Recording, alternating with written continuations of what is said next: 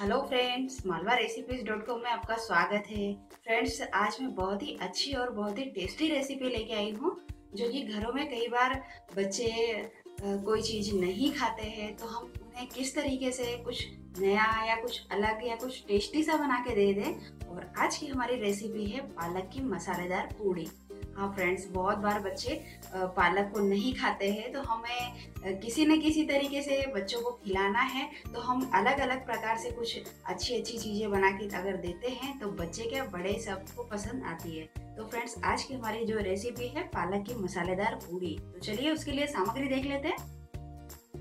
Friends उसके लिए मैंने लिया है, ये पालक है, और पालक को मैंने अच्छे से वॉश कर लिया है, इस तरीके के डंठल निकाल कर पत्तियों को ही रखा है और इन्हें मैंने अच्छे से पानी में धो लिया है। तो ये जो पालक मैंने ली है 100 ग्राम के लगभग है और हम मसालेदार बना रहे हैं। तो थोड़ी मैंने धनिया की पत्तियाँ हैं, इन्हें भी धो के रख लिया है। तो ये थोड़ी धनिया पत्ती है और दो चम्मच मैंने, दो छोटे चम्मच बेसन लिया हुआ है और एक चुटकी हींग है, एक चुटकी काली मिर्च का पाउडर है और आधी चम्मच जीरे का पाउडर है, आधी चम्मच धनिया पाउडर है एक चम्मच नमक है और एक मैंने तीखी वाली एक मिर्च ली है और थोड़ा सा मैंने अदरक का टुकड़ा लिया हुआ है। आटा लिया है हमने एक कटोरी और एक कट, एक छोटी चम्मच मैंने ऑयल लिया है। आप कोई भी कुकिंग ऑयल ले सकते हैं। तो ये तो फ्रेंड्स हो गई हमारी सामग्री। अब हम बनाना शुरू करते हैं। तो अब हमने एक मिक्सी का छोटा जार ले लिया है और ये अदरक का टुकड़ा है। ये ऐसे ही रह जाएगा, इसीलिए मैं छोटा छोटा कर देती हूँ। और ये जो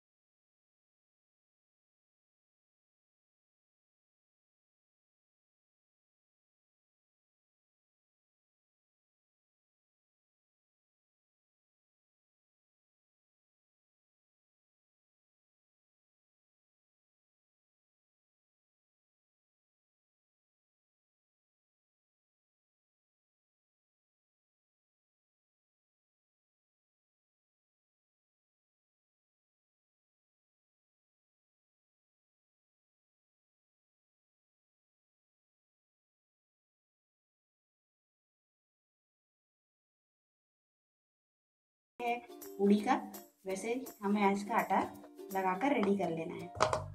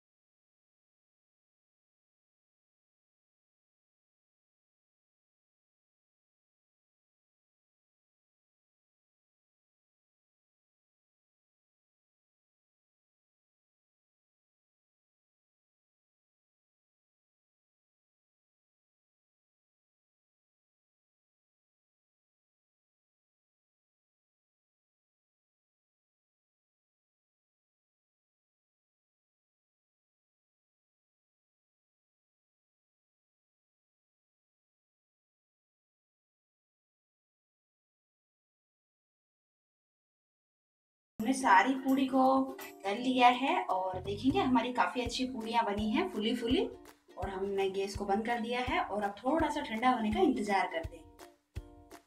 तो फ्रेंड्स, फाइनली हमारी पालक की मसालेदार पूड़ी बनके रेडी हो गई है और ये बहुत ही टेस्टी बनी है और अगर आपके बच्चे तीखा पसंद नहीं करते तो आप मिर्च को अवॉइड भी कर सकते हैं। आप इन्हें आलू की सब्ज़ी के साथ, दही के साथ या फिर टमाटर सॉस के साथ खा सकते हैं, अचार के साथ, आप जो भी पसंद करते हैं आप अपनी पसंदीदा सब्ज़ी के साथ खा सकते हैं और ये बहुत ही टेस्टी लगती है और ये हेल्दी भी होती है, काफ़ी अच्छी होती है।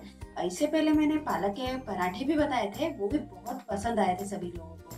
तो अगर अभी तक आपने नहीं देखे तो ऊपर कार्ड में आप देख सकते हैं। तो इस तरीके की पूड़ी बनाएँ और आप ध्यान रखें कि ऑयल अच्छा गर्म रहे तो पूड़ी अच्छी फूल जाएगी और फ्रेंड्स ये बहुत ही अच्छी रेसिपी है, बहुत ही हेल्दी रेसिपी है। आप कमेंट करके ज़रूर बताएँ आपको कैसी लगी है। लाइक और शेयर करना तो बिल्कुल ना भूलें। और अगर अभी तक आपने हमारे चैनल को सब्सक्राइब नहीं किया है तो तुरंत कर ले ताकि आपको और भी अच्छी अच्छी रेसिपी देखने को, सीखने को मिलती रहे। तो मिलते हैं फ्रेंड्स एक नई रेसिपीज़ के साथ।